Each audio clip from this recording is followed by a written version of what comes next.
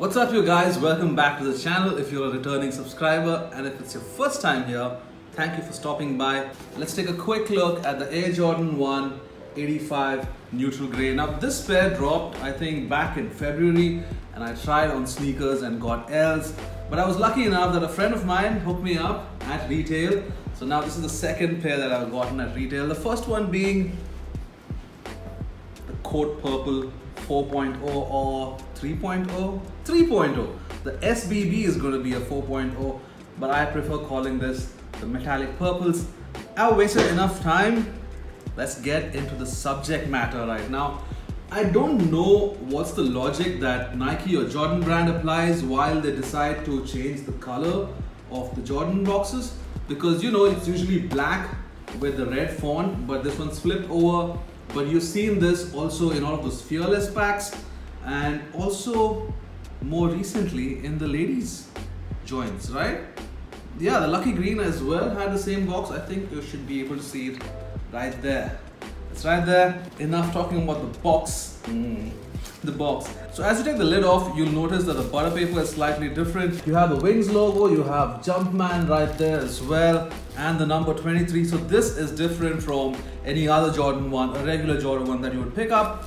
And it's now further packaged in some wrapping paper. Now, when the reverse breads dropped, I really wanted to get the pair, not because it was an 85 cut, but because I've beaten my breads to the ground and I wanted a worthy alternative.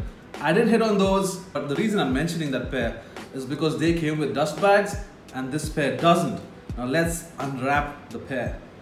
And there you have it, the Air Jordan 1 Neutral Grey 85.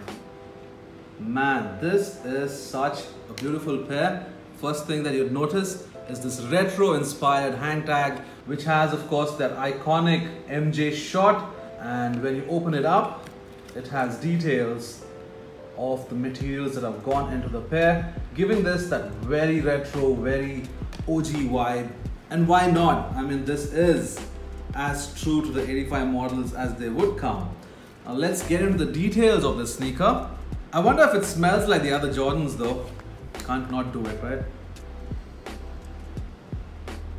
Ah, very faint, very faint in comparison to the other Jordans. But yeah, man, it is what it is. First things first, the materials that they've used is a very, very stiff uh, and a smooth leather. It's none of that soft, tumbly ones that, that people look up to, as in they compare it with the shattered backboards, then you had your shadows and all of that. So the leather is nothing like it. It's a very stiff, smooth leather. And from what I understand, that's how the earlier versions back in 85 came out. So all of the panels, you have a perforated toe box and all of the white panels are the same smooth, stiff leather. The gray panels, like the swoosh and this heel area right here, are done in suede. And I can't say that it's mind-blowing. It's just about all right. The tongue it has a bit of a bluish tint under certain lights that makes me think of the EU exclusive, the Off-White Jordan 1. The tongue is longer than it usually is on a Jordan 1 and the tongue tab as well has been done a little differently. It's kind of shorter and the detailing is slightly different. The pair doesn't come with a cardboard uh, shoe tree, it has this paper stuffing Wonder how they took all of the efforts and then they messed that bit out. Now the pair comes factory laced with these flat white laces. They also have an extra pair of laces.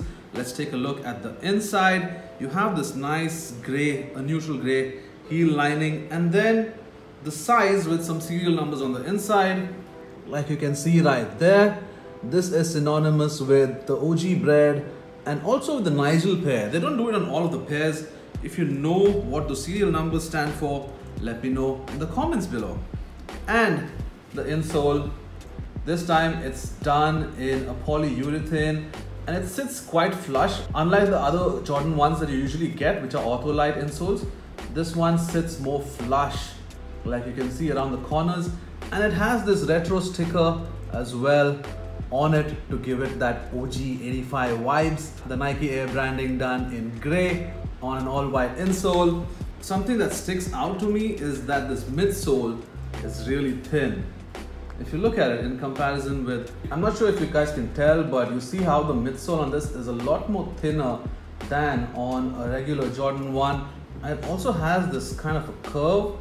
What you'd normally see is a flat midsole, but this one has this curve going through and over to the outsole you have that neutral gray outsole which again is ever so slightly narrower than on a regular Jordan 1. One other difference that I've noticed is that the Wings logo right here has been embossed as against debossed on your regular Jordan 1s. Let's find that alternative pack of laces. There you have it, the neutral gray extra set. I think I'm gonna switch over to the neutral gray laces rather than just having it white.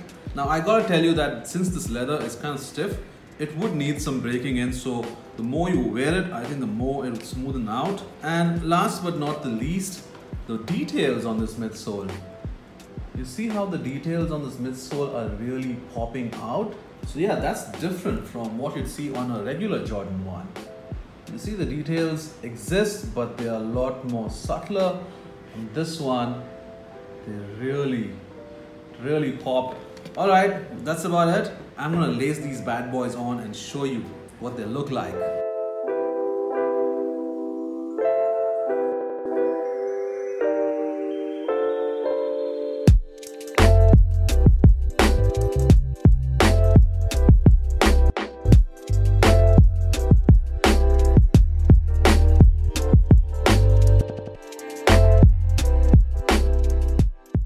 So yeah, first impressions on fit. It's true to size, although it's narrower. I feel like the pair is slightly, just slightly longer than your regular Jordan 1. But I would still recommend you go true to size because the shoe is overall narrow and even if you have broad feet, uh, your regular Jordan 1 size is the way to go with this pair as well. I also realized that this pair reminds me of the Dunk High Pure Platinum that I also have. And I remember when I got the Pure Platinums, I was like, maybe I'm gonna keep them both or maybe this would be like a consolation prize when I don't get the neutral grays. But lucky for me, I now have both pairs. How about you guys? Let me know if I should keep both or I should maybe flip the dunks. I don't know. Help me decide. So anyway, thank you for staying all the way to the end. I really appreciate it. If you guys haven't subscribed yet, make sure to do that and give this video a thumbs up.